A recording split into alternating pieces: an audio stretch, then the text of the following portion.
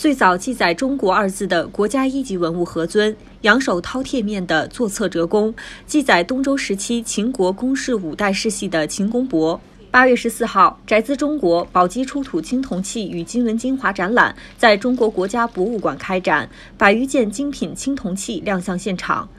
现场展品中最引人注目的，要数1963年出土于陕西省宝鸡市、最早出现“中国”一词的西周早期著名礼器何尊。何尊口圆体方，通体有四道镂空的大飞翎装饰，颈部饰有蚕纹图案，口沿下饰有蕉叶纹，尊体以雷纹为底，高浮雕处及圈足处饰有饕餮纹，工艺精美，造型雄奇。铜尊内胆处有一篇一百二十二字铭文，其中就包括“中国”一词现存最早的文字记载。何尊呢是出土于宝鸡呃地区的一件呃国之重器，它上面记载了呃周武王在迎将迎建成周时候的宣言：“宅兹中国，自治一民。”意思就是我们要建都于定都于天下之中，来治理四方，治理天下。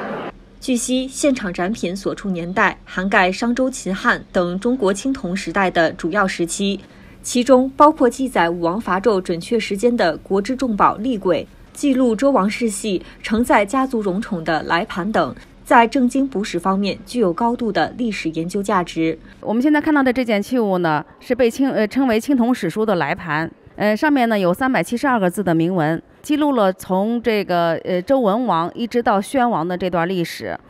它和这个司马迁的《史记》以及《尚书》上面的这个对西周的历史的记载呢，是完全相互印证的。本次展览分为金文的艺术、金文中的故事、金文中的智慧三个单元，通过展示早期中国青铜器与金文文明成果，揭示上古社会中蕴含的物质、精神、制度文明成果。本次展览汇集了一百四十三件，呃，出土于宝鸡及其周边地区的青铜器精品。呃，一百四十三件精品当中，一级品有六十五件，二级品有六十二件。呃，它们总的占比，呃，接近百分之九十，这是近年的展览里边非常罕见的。每一件器物都有铭文，我们能够利用铭文、利用金文来解读中国青铜时代的历史文化、信仰、礼仪生活。